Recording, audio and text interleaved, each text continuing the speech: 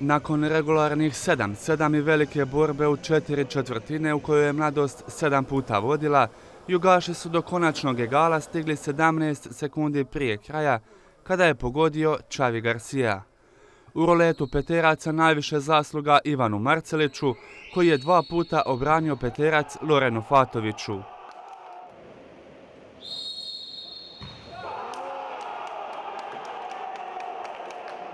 Pogodak za konačnu potvrdu pobjede mladosti postigao je Kozmin Radu kojemu je ovo bila posljednja utakmica u karijeri.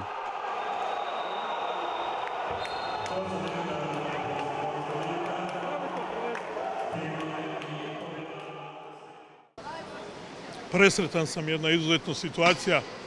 Pobjediti Juga u tri utakmice za redom nije mala stvar. Napravili smo fantastičan preokret, vratili smo se iz mrtvih kao ptica Feniks, gubili smo 0-2. Jedinstvena situacija. E, presretan sam jer ovo što su momci učinili, bili su požrtovni i tokom cijele godine trudili se, na kraju je krasila ta fanatična borbeno zajedništvo.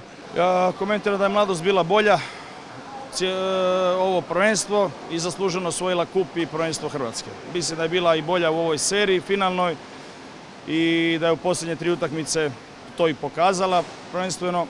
Nama je falilo snage u ove zadnje tri utakmice sa snagom, e, falilo nam je onda i dobrih odluka.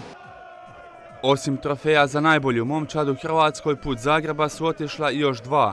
Najboljim vratarom proglašen je Ivan Marcelić, a najboljim igračem Andro Bušlje.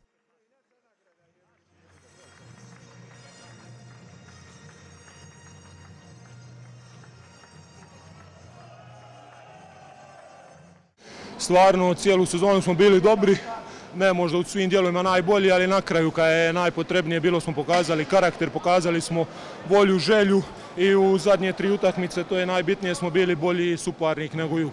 Ja bi im čestito prvo svim svojim suigračima, pogotovo Marceliću koji nas je kroz cijelo finale vodio i Radu kojemu je vjerojatno zadnji gol u karijeri i s njime osvojio naslov. Ovaj, svim suigračima bi čestito i trenerima i upravi, ali naravno i i kolegama u jugu borili se do kraja, do zadnje sekunde, vidjeli smo, ali ovaj put smo mi bili zasluženo bolji. Mislim da smo bili pričali, baš, baš sam s vama pričao prije tjedan dana, da su nas već ljudi bili otpisali, da je to ono bilo gotovo u principu, da smo došli tu na treću utakmicu na odrađivanje posla.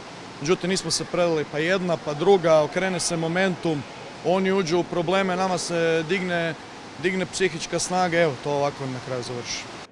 Na kraju dodajemo kako je jedan trofej ipak ostao u gružu, onaj za najboljeg strijelca, koji je pripao Lorenu Fatoviću, koji je u 21. utakmici postigao 52 pogotka. Slaba je pak to utjeha vaterpolskom klubu Jug Adriatic osiguranje, kojima je za sada ovo neuspješna sezona.